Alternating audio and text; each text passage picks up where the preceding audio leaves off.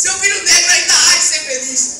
Muita gente se escolhe atrás de parente indivíduo, promove um preconceito étnico e o nosso prejuízo. Não nos dá educação para poder criticar. Aprendemos com a vida, sofrida e sem paz.